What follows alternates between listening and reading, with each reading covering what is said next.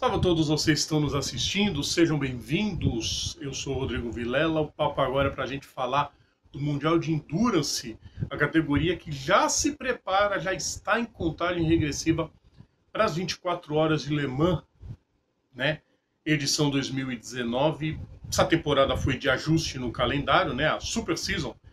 Então a temporada 2018-2019 teve duas vezes a prova em Le Mans. Teve a primeira e vai ter agora a segunda no, no mês de junho, hoje é dia 14, 16 de junho. Vai ser o fim de semana da prova. E a Toyota já garantiu o título de pilotos, já garantiu o título de construtores, o que vai permitir, na minha opinião, uma grande disputa. Porque quem ganhar é campeão. Lembrando que Le Mans a pontuação é dobrada em relação aos vencedores, a pontuação é diferente de toda a temporada, Le Mans tem uma pontuação maior para os pilotos. Então, entre os dois carros da Toyota, tanto o carro número 7, que é pilotado pelo Mike Conway, Kamui Kobayashi e pelo, pelo José Maria Lopes, quanto o carro número 8, que é do Sebastião Buemi, Fernando Alonso e Kazuki Nakajima, tem chances de título e a briga vai ser entre eles. Creio que a equipe já um pouco mais aliviada depois de finalmente vencer em Le Mans, como venceu no ano passado, conseguiu a vitória depois de tanto bater na trave, nos últimos anos principalmente, quando 2016 que o carro parou faltando três minutos para o fim da prova, na última volta. E, bom, creio que a equipe só vai interferir para permitir que os carros terminem a corrida. Não deve ter interferência nenhuma. A Toyota aqui como você já viu no vídeo do, do Carlos Martins, ela confirmou que Brandon Hartley vai correr na equipe no ano que vem no lugar do Alonso. Alonso vai se, vai se dedicar ao Rally Dakar, pela Toyota, inclusive. Ele vai se dedicar ao Rally Dakar e não vai correr o projeto do, do EC. Porque ele está certíssimo, aliás, tá? O que esperar? Bom, primeiro a gente vai esperar realmente uma disputa. Porque valendo decisão, a gente vai ter os pilotos arriscando um pouco mais. Só que a prova de endurance, né, gente? Os pilotos não podem arriscar muito. E se tratando de uma prova de 24 horas, menos ainda. O importante, primeiro, é poupar um pouco de equipamento, principalmente quando você chega na parte da madrugada, onde a maior parte dos acidentes acontecem, onde as maiores decepções ocorrem. Então, vai ser interessantíssimo saber o que, que a equipe Toyota vai fazer já que suas duas duplas têm chances de ser campeã da temporada. Para o Alonso, Alonso já conseguiu vitória em Le Mans. Claro que ele vai querer sair da categoria com o título da temporada. Não só na LMP1, né, mas nas outras categorias a gente vai ter muita briga, porque na LMP2, por exemplo, o André Negrão lidera.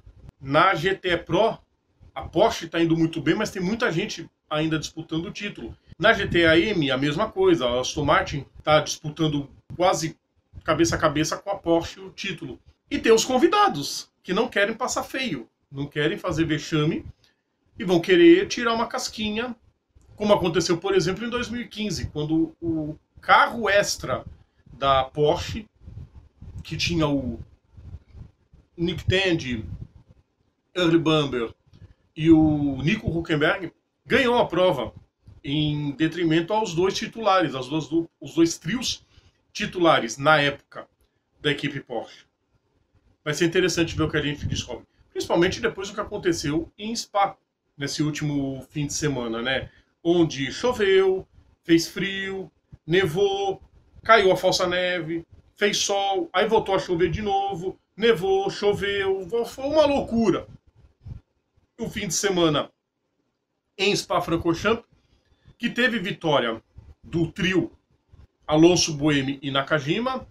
Na LMP2, quem se deu bem foi o trio do Gonzalez e o Maldonado. Não me recordo quem é o terceiro piloto, tá? Na GTE Pro, a vitória foi da Aston Martin. E na GTE AM sobrou o triunfo da Porsche. E agora é aguardar a contagem regressiva para Alemã. Porque tá chegando a hora da decisão do campeonato, tá chegando a hora de mais uma grande prova em solo francês. Mais uma da, tri, da Tríplice Coroa. Será que o Alonso vai chegar lá com a tríplice coroa garantida? Ele vai correr em Indianápolis antes, né? No fim de maio. De repente ele já chega inspirado lá e consegue o título. E é o que ele está fazendo agora, né? Tá se divertindo. Só que o restante da tropa não quer deixar barato. E isso tudo traz a expectativa de uma grande corrida em Le Mans. Mais até do que tantas outras que a gente viu na história. Pois é, pessoal, o que esperar da Toyota em Le Mans? Deixe seus comentários, comenta aqui embaixo o que vocês esperam que a Toyota faça em Le Mans. Lembrando que eles já estão com o título garantido, lembrando que eles já venceram em Le Mans. E é isso, pessoal. Deixe seus comentários, participe com a gente. É, sugestões, críticas, elogios, dúvidas, comentários, opiniões. O importante é vocês comentarem, o importante é a gente crescer cada vez mais com a ajuda da participação de vocês. Certo? Inscrevam-se no canal, ativem o sininho e venham junto com a gente. Semana que vem tem mais programa e logo logo a gente volta com mais vídeos aqui no canal do Bandeirada. Tchau!